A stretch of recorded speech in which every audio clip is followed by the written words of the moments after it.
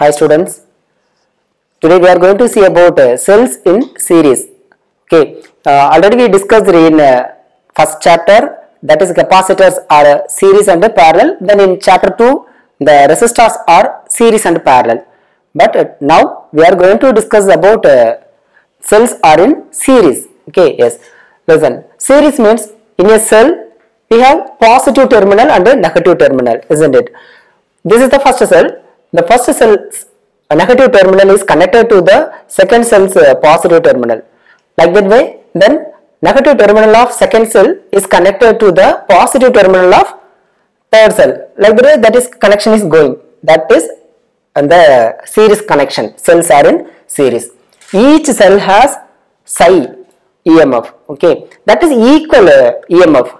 That is psi is equal for all cells. Okay, like that way we uh, include that n cell. That is n number of cell means here uh, we have lot of cells. Okay yes. Then each cell has internal resistance small r. All are equal internal resist, uh, resistors uh, resistance. Okay. Then uh, current i is flowing through like that way. This is external resistance r capital r.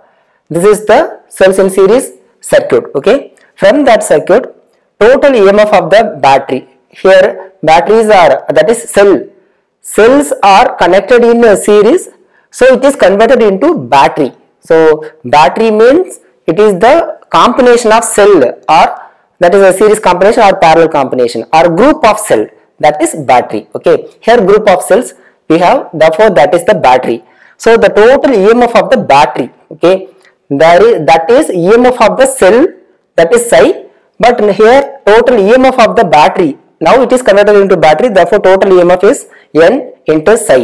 Because it is series combination so n into uh, n number therefore n into psi okay? Then total resistance of the battery. So that is the battery. Total resistance means the resistor are connected in series therefore that is r1 plus r2 plus r3 like that way. Therefore uh, here equal resistance therefore nr so n number of cells are connected here okay? Then total resistance of the circuit. That is total resistance of battery.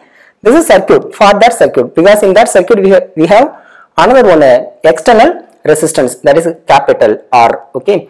Therefore this capital R also connected in series. Therefore NR plus R. That is sum of all resistance in that circuit. Okay then. Now from Ohm's law Ohm's law means V is equal to IR therefore current I is equal to EMF by resistance or voltage by resistance. So voltage is equal to current into resistance but uh, current is equal to voltage into voltage divided by resistance. Therefore total EMF that is N psi divided by total resistance that is NR plus R okay? This is the final uh, equation okay? From that equation we, we are going to discuss about uh, case 1 and case 2 here case 1 the internal resistance is very very small comparing to the external resistance. That means the cell is freshly prepared cell. That is new cell. So it has very low internal resistance. So internal resistance is very very less than external resistance. That is capital R okay? So I is equal to here uh, R is very very small value. Therefore here we are omitted or neglected that NR value. So NR is neglected. Therefore N psi by R. Here psi by R that is the voltage by resistance. That is psi that is the EMF by resistance. So it is uh, converted into current. So voltage by resistance therefore that is current. Psi is the EMF of one cell or single cell. Resistance that is external resistance R. So psi by R is I1 so I1 that is the current due to a single cell. So here total current is equal to N into I1 here if one cell has I1 means then like that we have N cell or 3 cell means that uh, 3 I1 that is the total current. So N times current is increases. Here we have N cell okay? Then in case 2 if internal resistance is very very greater than ex external resistance. That means that cell is very very old cell. Because the aging increases. Or age is increases means the internal resistance also increases. Therefore internal resistance is greater than the very very greater than the external resistance. Therefore here we omitted or neglected that external resistance value. From that equation that is the main equation here r is omitted capital r. Okay. Therefore n psi by nr so n psi by nr so n n cancel therefore psi by r. Psi is the emf of single cell.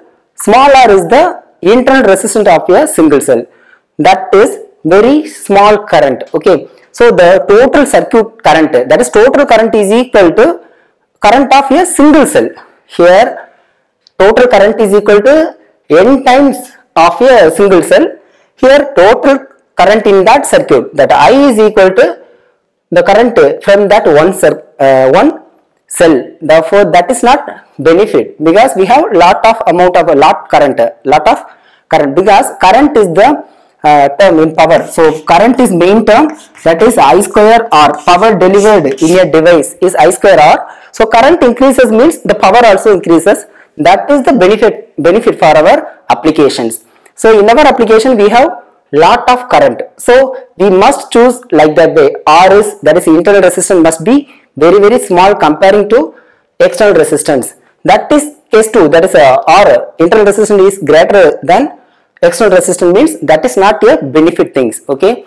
The, that is the very simple question and 3 mark question. So cells in series so study that one. Thank you